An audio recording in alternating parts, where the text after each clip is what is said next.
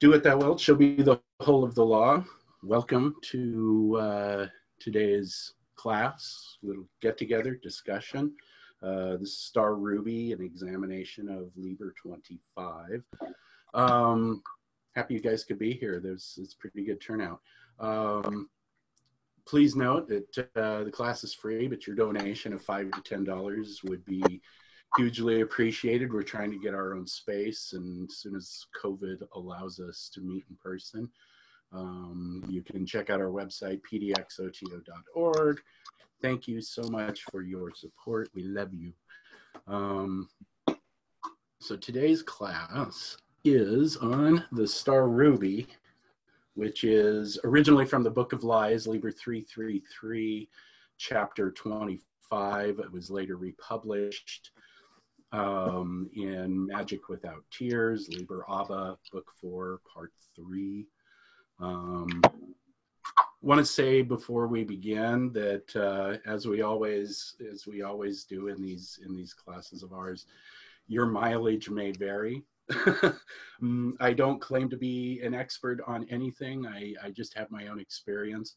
Um, the way uh, the way that I interpret things and the way that I pronounce things, uh, things like that, might be different from the next person. And I encourage everybody to kind of jump in if you know if there's a different way you have of pronouncing a thing or, or what you visualize or something.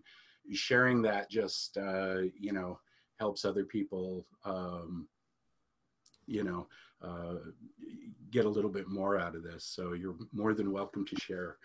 Um, let's see here. Um, I, in, as we were talking about prior to the prior to getting started, the thing to keep in mind is it's it's your own approach, it's your magic. Whatever works for you is is what's going to um, that's what's going to make your magic your own and it's what's going to make it as powerful as it can be. Um, i plan today to kind of go over some of the symbolism. I'm just going to kind of walk through the ritual. I'm going to talk about some of the, the greek words and what they mean some of the visualizations and then really you know kind of get into just the practice of it. Um, i am not going to go into the Kabbalah, the Greek terms, but I encourage you to uh, look into the, unfortunately, 777, that's only Hebrew.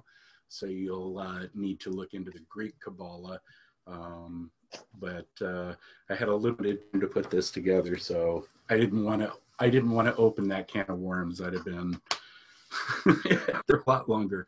So, um, but I encourage you to do that. So what is the Star Ruby? The Star Ruby is a banishing ritual. It's basically Crowley's improvement on the lesser banishing ritual of the pentagram, uh, which traditionally used Hebrew symbolism, Hebrew god forms, angelic forms.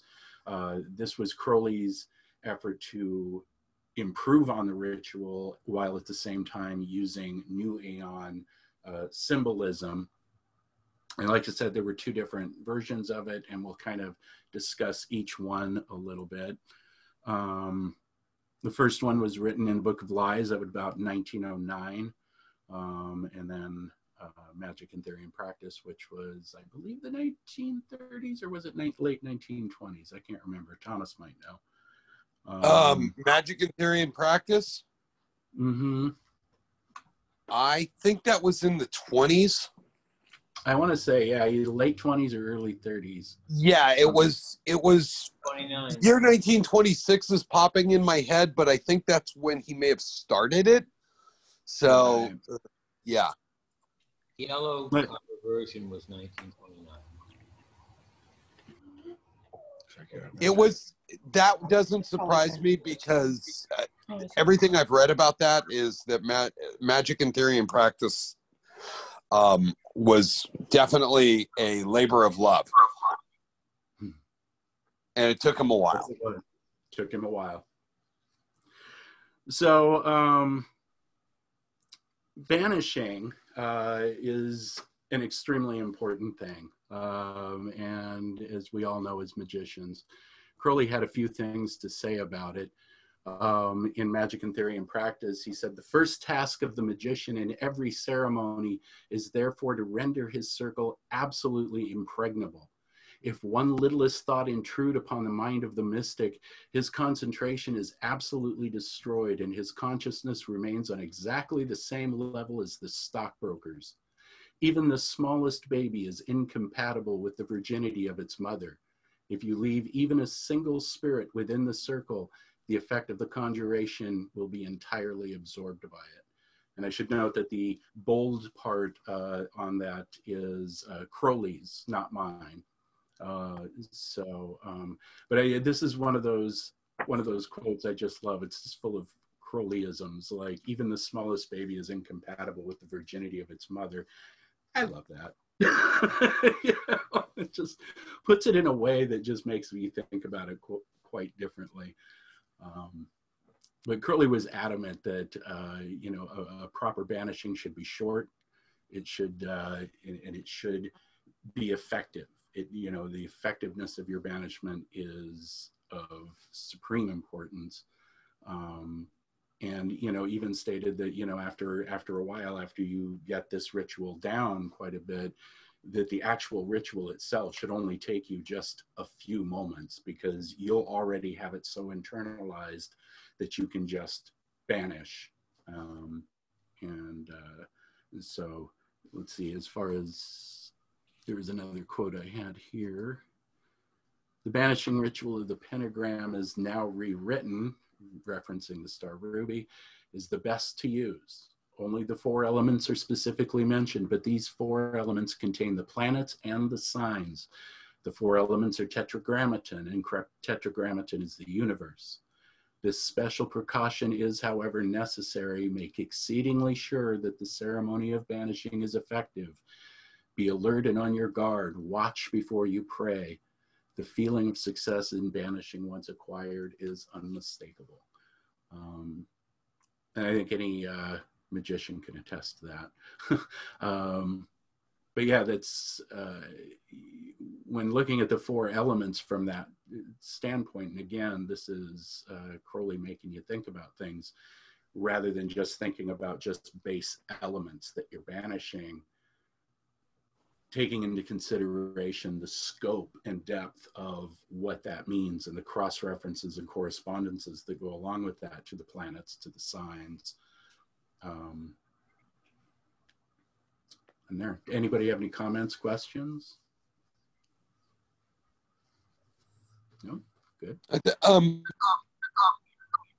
Liber 25 and uh, the LBRP are treatises on elemental magic. Um, there's a reason, you know, why in our recommended, you know, study guides that, you know, there's a sequence to um, how we go about doing things. And um, I didn't actually realize what I'm saying right now until I was about like four or five years into doing LBRPs and uh, Star Rubies. So, you know, it, it, stuff just sneaks up on you with this. Um, so just do them a lot for a long time and write down what your your notes because it's going to evolve. Yep, well put. And uh, there's there's one other important uh, thing to to note when uh, on the general subject of banishing. A lot of, you know, you're always encouraged to banish and banish frequently. Do this ritual a lot, but never for forget to invoke because that's really the true the true thing that you're really trying to do. Yes, you start with a banishing, but if all you ever do is banish, you're going to find yourself banishing even the good things in your life. I mean, you've got to in, you've got to invoke and you you must invoke that thing that you are striving to achieve you know if you're if you're if you're looking to uh, come to know your angel invoke your angel you know uh, there are many ways of invoking and one of the great things about the the star ruby as opposed to the traditional LBRP, where you do the banishing in the four corners, and then you immediately go before me, Raphael, behind me, Gabriel. In the Star Ruby, you stop in the middle and invoke NOX. And, and again, you have this tetragrammaton. Again, you have this, this, this energy that you're invoking immediately after banishing. And that's an important thing to remember because nature abhors a vacuum. if you just keep banishing, sometimes bad things can make their way in anyway, you know? Um, so one thing to keep in mind, I think. Um, so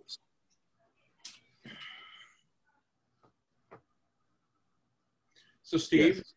Uh-huh. so, so as as a newbie, um, I mean, I've had experiences in banishing where there's been there's been this rush of power that came in at the end of a banishing. Is that what Crowley is referring to as as to the as this unmistakable sense of a successful banishing? I would say so very much. Like I said, you, like he puts it, you know, you know it when it happens, and and and it's true of anything in magic. You know, um, we were talking about the signs, and particularly the sign of Hoor-Paar-Kraat. I have these two images. I mean, one of them uh, is an early uh, Golden Dawn or AA picture, uh, comes from um, uh, one of the earlier Crowley books. But again, you can see the person using their right hand. Same thing with the image of uh, Hoor-Paar-Kraat um, in this image. Um, and again, that's basically based on the, the principal signs of Egypt. Um, uh, like I mentioned prior, this sign of silence is usually the index finger up to the lips. However, there are those who have used the thumb in front of the lips, uh, again, symbolizing the babe Horus suckling the thumb. Um, either way is appropriate, whatever works for you, whatever is, is resonates with you is appropriate. So um, of the signs given in this ritual, this one is the first. Um, let me see if I can. Steve, can you comment yes. on there? There is a plurality of of names um, associated with that first sign. I was wondering if you could maybe speak to that. as far as uh, the sign of Hoor-Paar-Kraat, the sign of silence.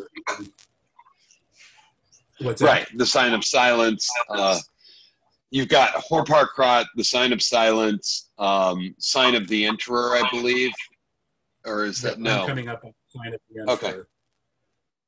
So the sign of Hoor-Paar-Kraat is is I mean, and silence is a passive sign and that's that's one of the aspects. It's the uh, the god Horpar uh, or uh, um, Heru-ra-ha is uh, is the twofold essence of Horus, which is Hoor-Paar-Kraat and Ra-Hoor-Khuit. Ra-Hoor-Khuit being the active, Hoor-Paar-Kraat being the passive. And therefore, on our next one, we have the sign of the enterer, which is the sign of Horus, or uh, Ra-Hoor-Khuit, uh, this is maybe done in a couple of ways. The one that you're looking at on the left um, is the way that uh, most magicians will do it, and that's with the left leg just, or the left foot just forward a bit. You're bent at the waist. You're, you're doing a Superman pose kind of a thing. You're out like this, and it's generally done with that motion. So as you give the sign of the Enterer, you're doing like this.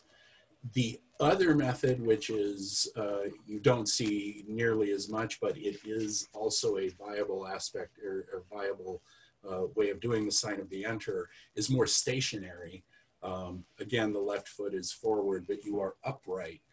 Your hands forward as though you're cupping something, you're in a V shape. And this is also considered the sign of the enter. Again, whatever resonates with you for whatever reason, um, go with that. Um, the next on our on our signs of the signs of NOX, and this is given after going around and banishing in the quarters. Um, I believe this is Constance DuQuette. Am I am I correct on that, Thomas? Do you know? Not clear, but um, uh, you're the book expert, so I believe so. I believe so. I yanked this image off the internet, but I'm pretty sure this is Lon DuQuette's wife. oh yeah, no, now okay, I didn't. I uh, you are correct. That is Constance. I'm sorry, I didn't. Um, I yeah, okay, yes, that's Constance. Constance of the Well, yes.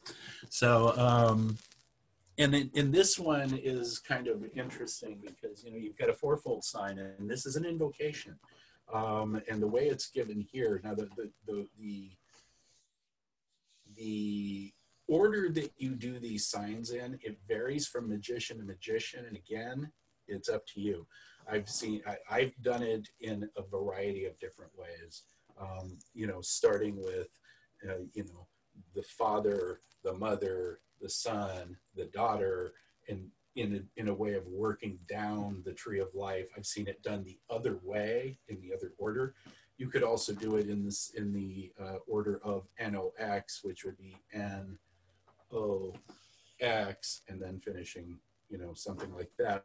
But whatever, whichever order you do, there is no way that is this is the correct way, that way is the wrong way. Again, um, but these signs you should you know at least understand what they are. And with uh, with Puer you know you've got again like i showed a little bit earlier principal sign of one of the gods of egypt. Of course he's kneeling so his arms up raised but it's very much that same uh, type of thing. It is a generative sign you know the thumb out like this it's you know rather obvious you know penis and and you stand like this uh, this is the son, um, you know, the daughter, and this is tetragrammaton. You have down at the bottom right, you have yod. Moving to the bottom left, you have hey. Moving up, you have vav, and over to the top right, you have the final hey.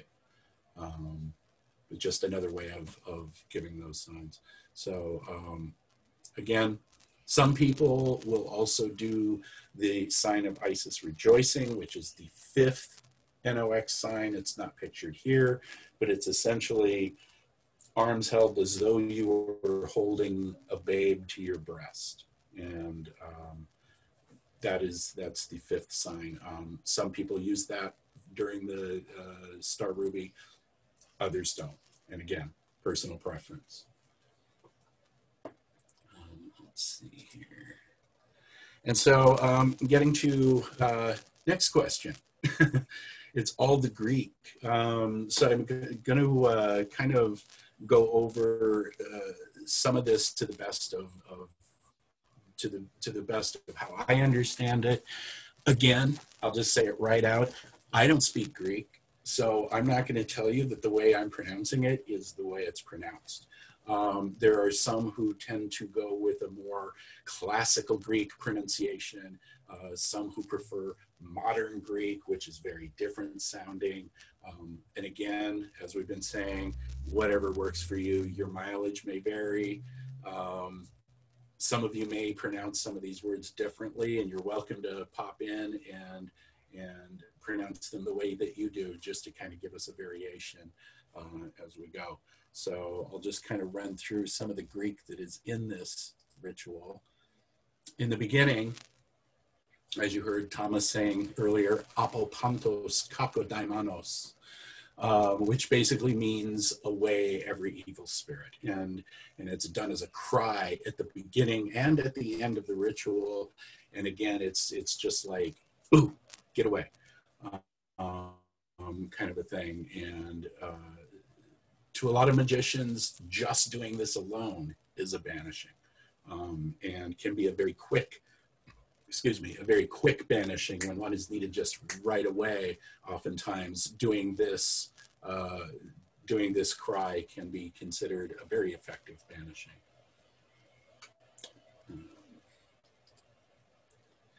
We do the Kabbalistic cross. We've got soy, meaning thine or thy, uh, ophale, Apophallus, Ischyros, which means the mighty, Eucharistos, which means the beneficent, and then a vibration of the holy name, E-A-O. Um, and I say a vibration, I mean some of the, some of this uh, Greek is actually meant as kind of an invocation or prayer. It's just spoken in Greek.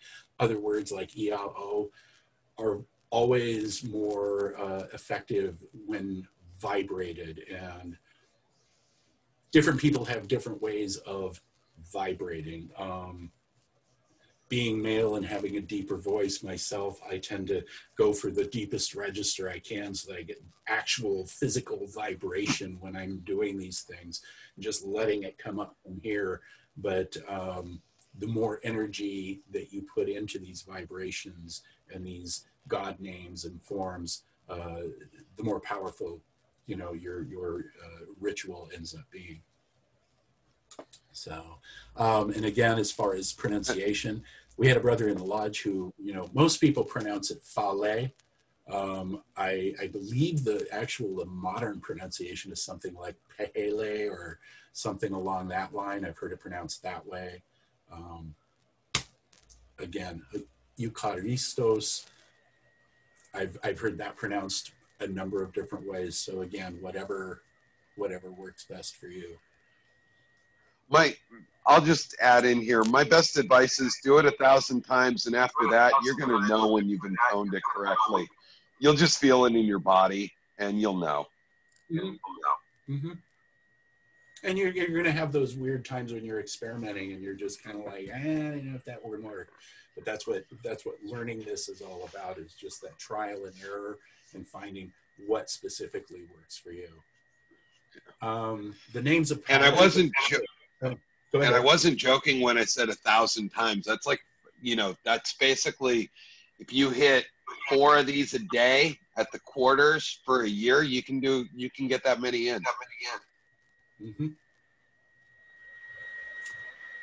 Uh, the names of power in this ritual, in the original ritual uh, in Book of Lies, uh, to the east uh, was chaos, to the north, Babylon, to the east, Eros, and to the west, or, or, excuse me, I just went out of order there. To the east, chaos. To the north, Babylon. To the west, Eros. And to the south, Psyche.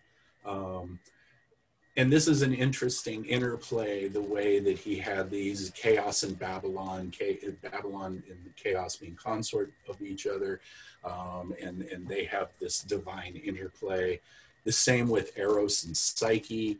Eros was the Greek name for uh, the what the who the Romans called Cupid. He was the god of, of love and sex. Psyche was the goddess of the soul. Mm-hmm. Um, and there was actually in a uh, in the book Metamorphose, uh, which is also called the Golden Ass, which was written in the second century by Platonicus. Um, he talks about the love affair between Cupid and Psyche, and uh, that's that's an interesting thing to intro. You know, if you want to go and research that in in line with what Crowley was looking at here with Chaos and Babylon, uh, Eros and Psyche. And now he later updated this to Therion, Nuit, Babylon, and Hadit, which being to me strikes me as being more of a balanced thing, um, because we have Therion in the east Babylon in the West, and so they they basically balance each other.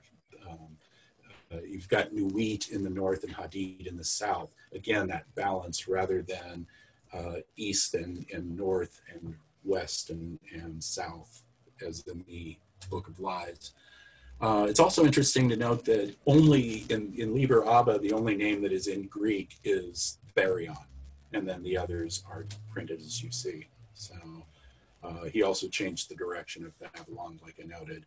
Um, and it seems it seems appropriate, I think, to put more appropriate to put her in the in the West as opposed to the god of of uh, love and sex, and and so. But that's those are the two different versions. The Liber ABA version is the one most Thelemites do at this point. It's not often that you see someone uh, do the original Book of Lies, though it's always nice when you do see it. It's kind of a refreshing, uh, a refreshing change, and it has its own uh, symbolism and power. I'm like, it's, it's sorry. Yes. It's, interesting that the the characters in the Book of Lies it, um, reminds me of Russian to some extent. Some of the sound, some of the characters, and some of the wa- the, the way they seem to be pronounced. Yeah. So that's interesting. There's, I'm sure there's a, a little bit of a relation between Cyrillic and Greek, but uh, yeah. I just want to give some praise for Book of Lies as being the best night stand companion that anyone could ever have. Mhm. it, it strikes me, you know, again, because I keep seeing from my background so many parallels with Crowley and Jung, and you know, the, the tale of Psyche and Eros is actually very prominent in Jungian thought. Mhm. So it's interesting to me to, to see that, that he used them in the earlier version. I mean, it's it, I have to admit, it's a little sad for me to see that they went away.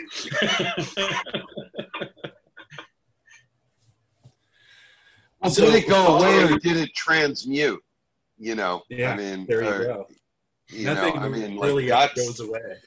Right. You know, I mean, like that's that's the whole thing. Is like you, you know, you can change the dialogue to a thelemic one, Mhm. but on your subconscious level, you know, once you know this ritual in and out, I mean, your brain is calling all of it in. Sure. Yeah. You know, we haven't. You know, Good point. yeah, it's all there. It's those are just the ashes of previous fires. You know. So then we come to the um, next portion, which after banishing to the quarters, you do the signs of NOx. Um, the ritual says that you cry out Io Pan. Um, most magicians will cry out Io Pan with each sign. Um, it doesn't specifically say that, but you know, um, but that's usually appropriate to do with each of the signs of NOx. Um, and, and there are variations on that. I mean, I've heard EO, pan, pan, pan. I mean, you get into this ecstatic thing. Whatever, again, works for you because you are invoking. And so the more energy and the more the, the more you throw into it, uh, the more effective your invocation will be. So um, just, you know, go ahead and let loose. Pan is uh, Pan is the all. Pan is Pan is not just a satyr who is drunk and lascivious in the forest, though that is an aspect of Pan. Pan is the all begetter. Pan is the all destroyer.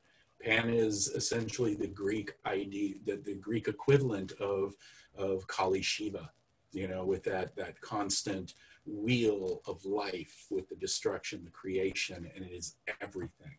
Um, but takes the form of this lascivious little goat man. And you know and, and i think that that's uh, that's that's a key to a lot of uh, the symbolism that we use. Uh, you know that that as above so below. And you know even the most base thing is divine. So Pan to me is kind of like the fool in the tarot. mhm. You look at it and you're just like, mm, yeah, whatever.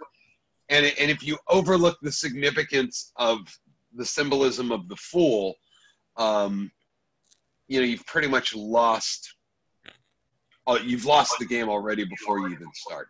So it's yeah. Mhm. So then we come to the final invocation. First part is promo iunges, which means before me, iunges. So what the heck are iunges? Uh, the word uh, is related to the Sanskrit root iug, from which we derive the word yoga and by extension union with God. Iunges, singular iunks, are the first of the four Neoplatonic divine principles that are invoked at this point in the ritual. Um, they could be called the initiators. Um,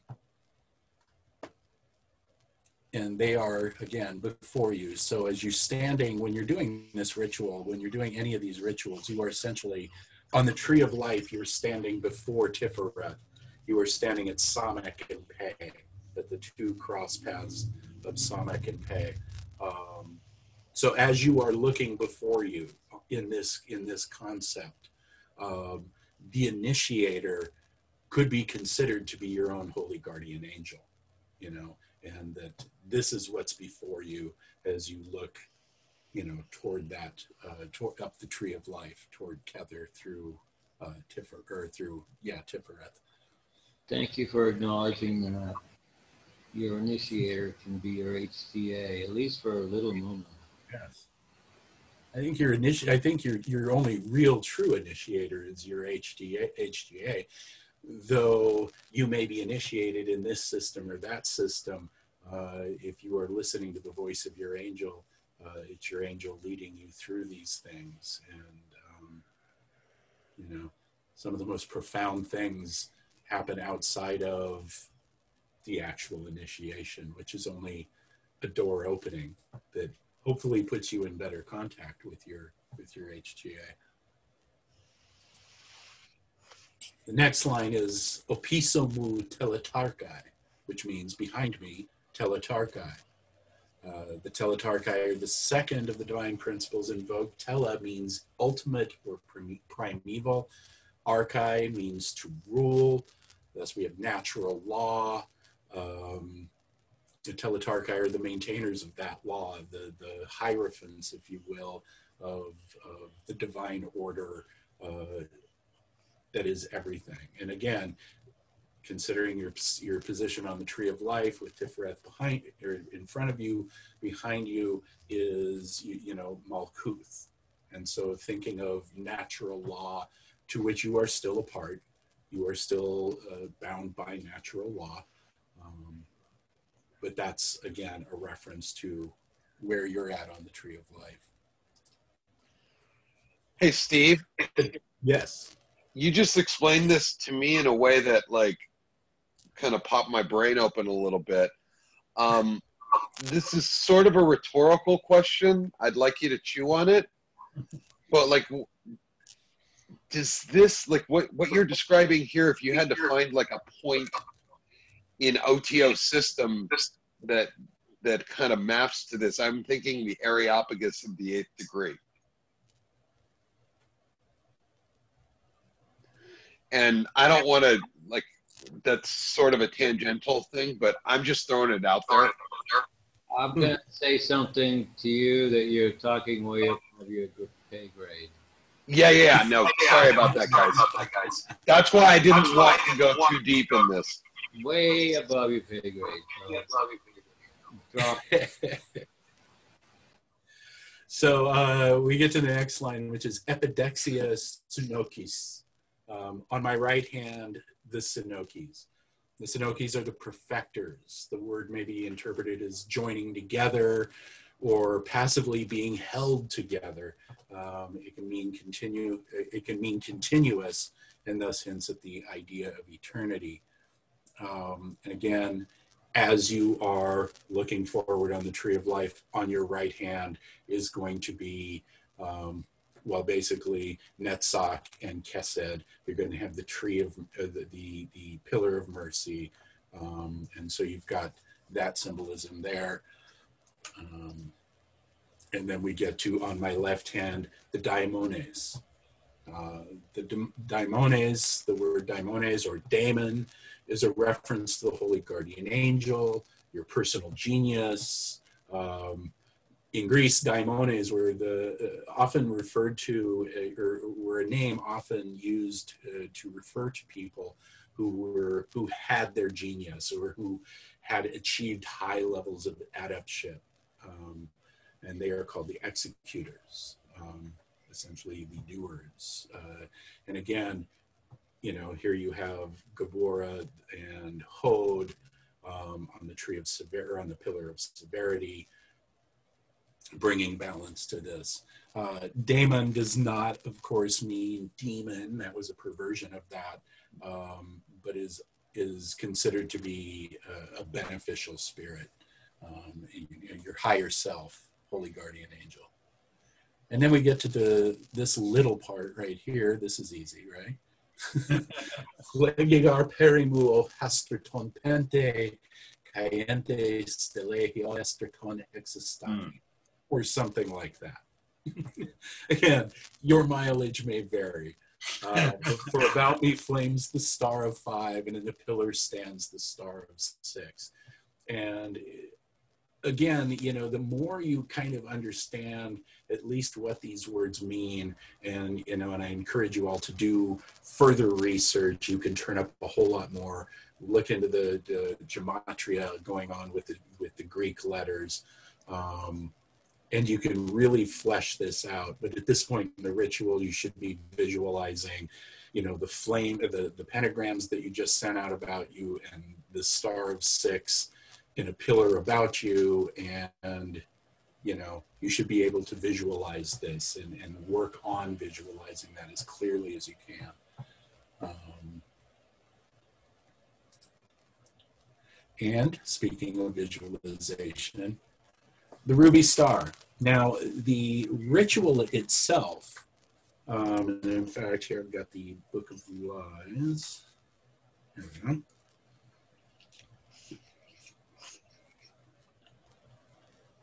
Let me see, where is it? Imagine strongly a pentagram, a right in thy forehead. Um, so this would suggest that the pentagram on the left would be what we're looking at as far as a, an, a right ruby star. However, I also know that there are many who prefer to picture the star on the right, which is the averse ruby star. Again, whatever floats your boat, whatever works for you, whatever gives you the visualization you need. And I and, and each would be appropriate in different circumstances too, depending on what it is that you're doing. But um, in the traditional LBRP, oftentimes you are instructed to visualize, say, for example, in the East, like a flaming yellow pentagram, you know, or in the North, maybe a black pentagram or indigo, and, and you know, similar around uh, the, the, the circle. With the star ruby, it's generally speaking, and again, Others may disagree, others may do it differently, but generally, from what I've understood from people, you're, you're picturing a ruby red star and sending that out into all four quarters. Any thoughts or ideas on that before we move on? Okay. I, I was thinking the, the, the previous stuff it's interesting for me to try to read it out like loud in Russian and then try to see the English translation because it it reads slightly differently. You, know? you try to, yeah, because it, you know, it, it's, yeah, some, some of the words are like really close to Russian. So that's that's really interesting. I'd encourage you to look into that some more. You know, maybe you may turn something up there. You know, there, yeah. it's and, and these these rituals are rather adaptive too. I mean, once you really start getting into them, um, you can uh, you know you can start playing with them, and I'll I'll talk about that a little bit more in in just a bit. Um, the works I cited, just just FYI, Crowley's Book of Lies, Magic and Theory and Practice, um, which is also found in Liber ABA before. May I ask a personal question? I also have a, a couple things that I've collected over the years. Yeah. Have you met Bob Stein? Go ahead.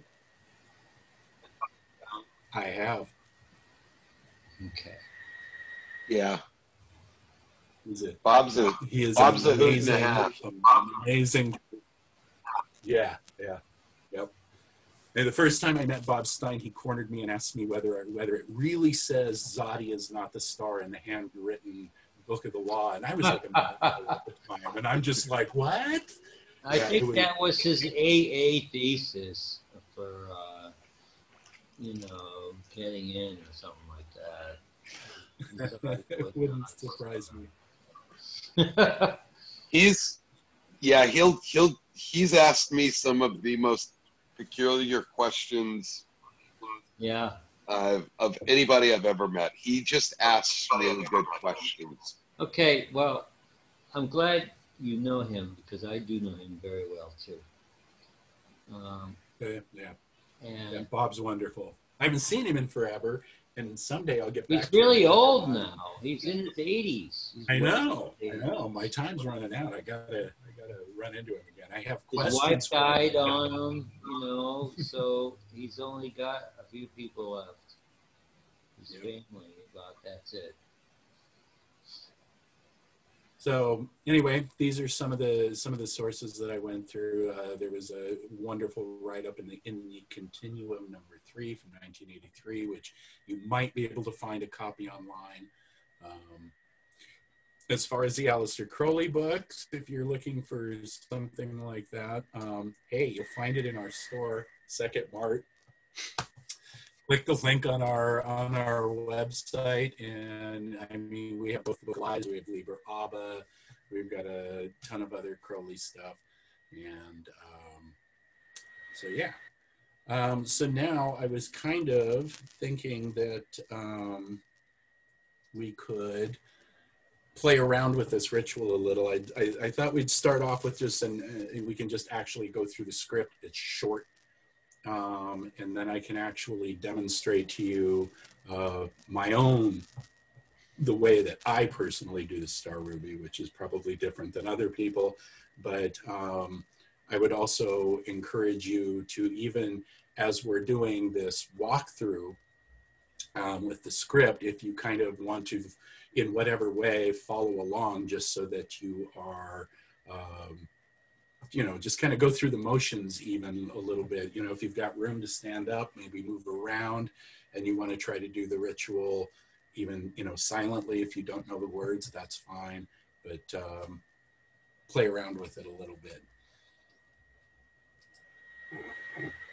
So the ritual begins with the magician facing east. You know oh get myself up here. Um, facing east in the center of your circle.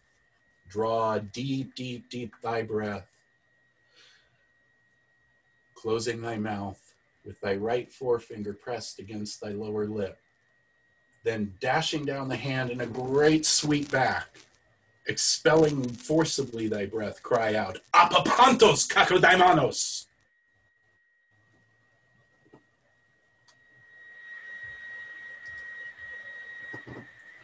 With the same forefinger, touch thy forehead and say, Soy. Thy member and say, Ofale. Thy right shoulder and say, Ischyros. Thy left shoulder and say, Eucharistos.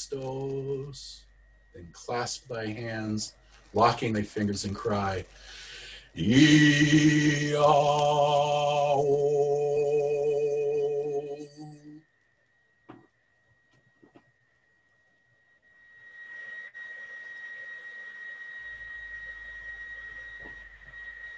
Advance to the east. Imagine strongly a pentagram, a right in thy forehead. Drawing the hands to the eyes, fling it forth, making the sign of Horus, and roar, Therion! Retire thine hand in the sign of Hoor-paar-kraat.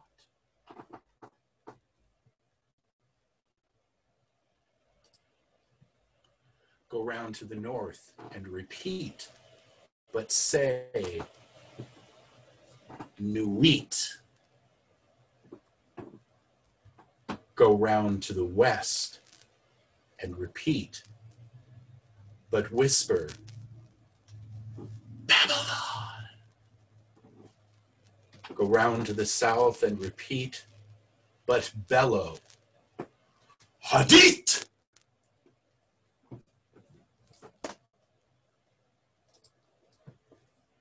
Completing the circle, Widdershins retire to the center and raise thy voice in the pan with these words, Io Pan, and the signs of NOX.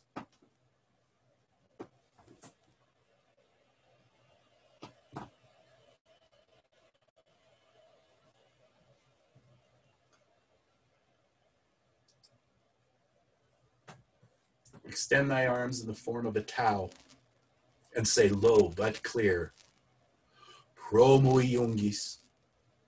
opisomu teletarchai, epidaxia synocheis, eparistera daimones, flagigar perimuo hasterton pente, caliente stelehi hoasterton hexistaki.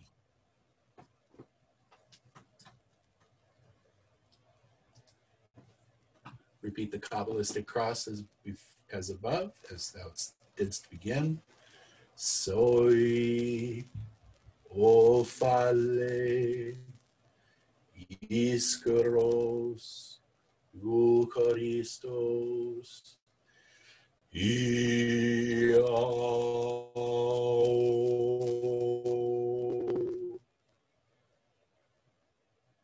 Apopantos kakodaimonos. And there you have the Star Ruby in, in kind of a walkthrough. Does anybody have any questions, thoughts on any of that? Thank you.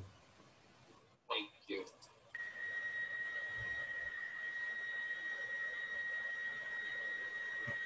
That was awesome, Steve. able- Thanks.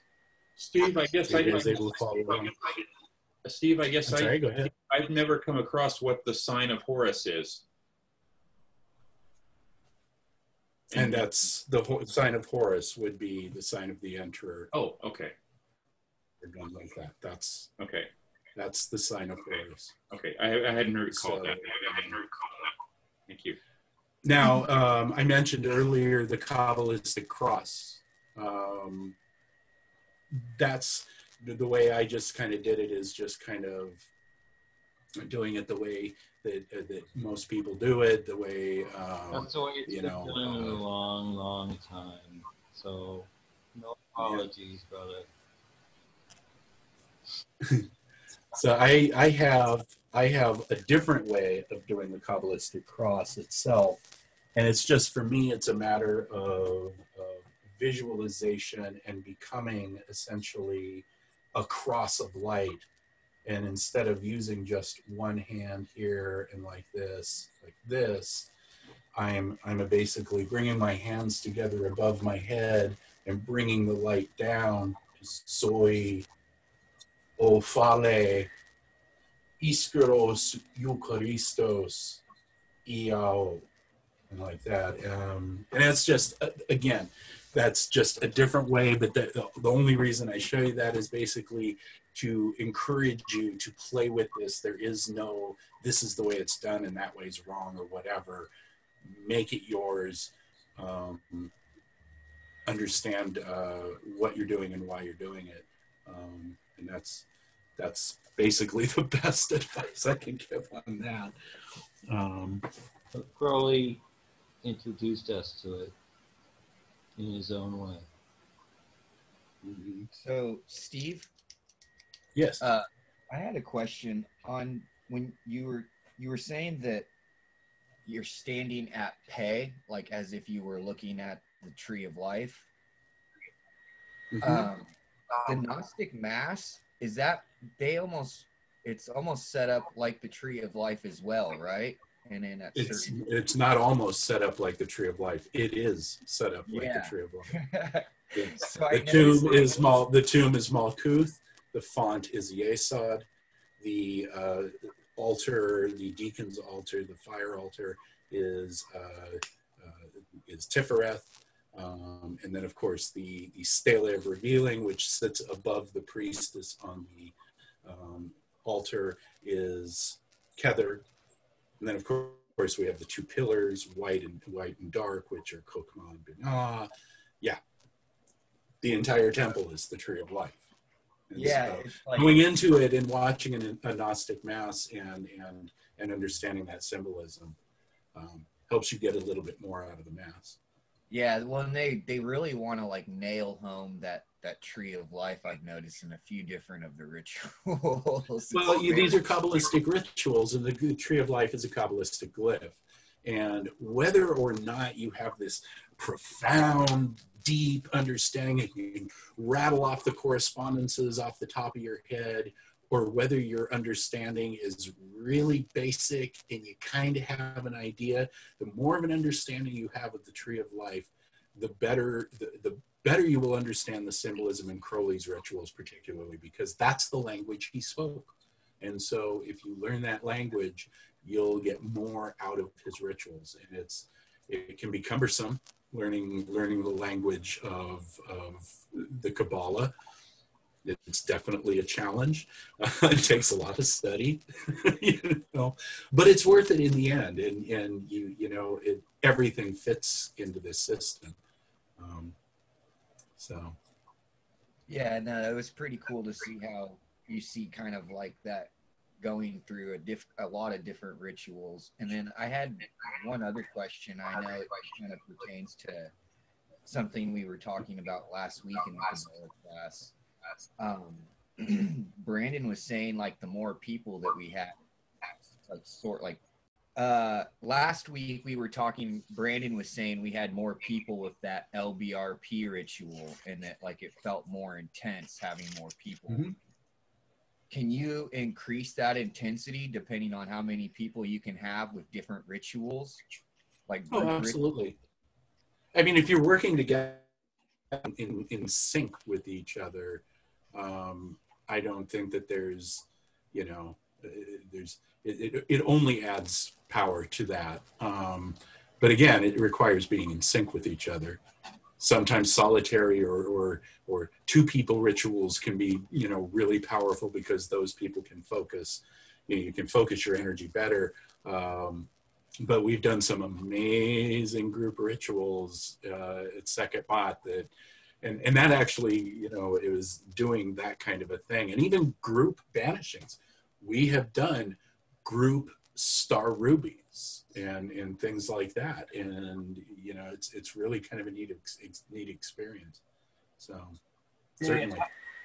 I, I was gonna suggest like being a soul practitioner most of my life that um you could experiment with setting up energy points that are kind of you know taking in energy or moving energy around or doing whatever in whatever shape you really desire to do that with It gets a little bit more complicated if you have to continuously focus on them, but I have played around with that. That can get interesting. So, energy points So, Steve, um, Uh-huh. sometimes, uh, so the times that I've seen the Star Ruby, um, most often have been has been one person. But I've usually seen like body and and foot positions associated with the NOx signs. So is that just a personal addition? I, I'm sorry. The So so oh sorry. So the times that I have seen the Star Ruby performed, right. um, most often it's been one person, Mhm. but I've usually seen like body and foot positions Hmm. associated with the signs and with the NOx signs. So those are just personal additions. Those are not actually part of it. I I'm not really follow. I mean, I'm not really different body positions. So so like different ways of doing the signs. no, like a foot raised and you know like, like standing like the rest of the body positioned in different ways, like like a foot raised off the ground in different positions and such, while giving. Yeah, that- Nick, that sounds like an embellishment uh, by the uh, magician, which is totally doable. Um, you'll often find if you go to the source material, like we studied today, the rituals are really really simple and people you know add to them uh, for either effectiveness experiment or you know they think it's cool. You know there's there's so many different you know for every embellishment there's a different reason you know and everybody maybe think of it in a different way too. So you got to be careful with that. Yeah. you know does this In fact, cool I'll- I'll move send somebody down a, a, a rabbit hole that doesn't exist Are, I was Nick. Are you asking like during Gnostic Mass in general? Like, No, um, just uh, at at some events we've seen uh, that we've held where somebody's performed the Star Ruby, and I've seen them like in physical in like physical postures with their with their legs and you know I, you'd, I, I'd have to, I, if you, if you, if we had like a, an actual like video or we were at Right. the thing. And, I- Yeah. I think I- I I'm- know what he's talking about. Um, Mhm. okay, so with the with the signs of NOX, and uh, please correct me because I I think I think I'm already confused. Um, I've heard two different. Okay, between the star ruby and the star sapphire, oh there's two different. Oh, very good. NOX. And so with the foot raise, that's part of sapphire. That's like the NON. You don't raise a foot in the star ruby Yes. Yes. But you do Yeah, that- widen that's- your- Those are the signs of, those are the signs of LVX. And I think that if you look back. Yeah, that uh, that's very good, Wendy. where you've Oh, thanks. you know, Nice catch. And then there, there is a lifting of the leg with the sign of the mourning of Isis, sign of Apophis and Typhon, Okay. sign of that's that's my confusion. Okay. Thank you I you. think that's maybe what, and yes, in the, and in the Star Sapphire, you do both NOX and LVX, oh and okay. so all right. So that's my confusion. Okay. Thank you. Um, to elaborate a little bit too, we were talking about how you can play with this ritual, um, and I'll give you an example of something that I kind of came up with a while back.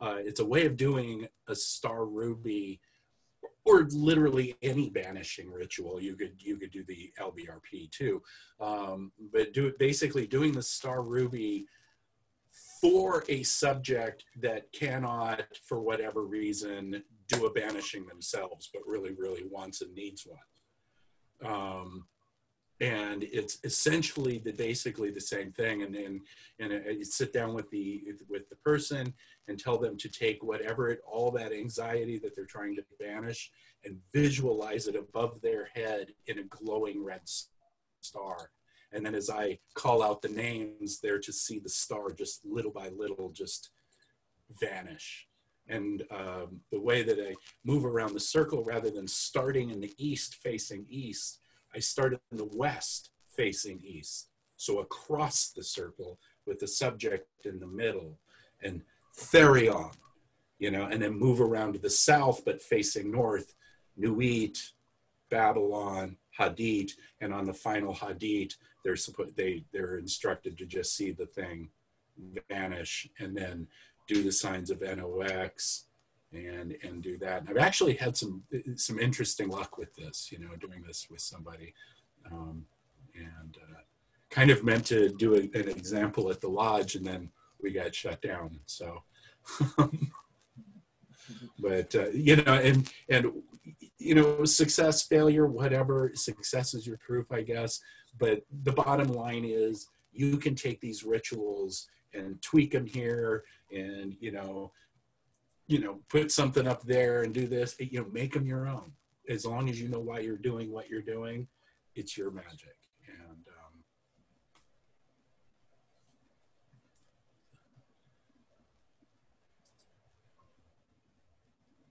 Any other questions, thoughts? Thank you. That's that was pretty cool. Yeah, no, thank you. You're welcome. Thank you guys for tuning in. Um, please, like I said, consider making a donation before you go, um, or or stopping into our store and buying some swag. We we like that too. We've got a lot of stuff. And uh, thank you all for for attending today. Love is the law. Love under will.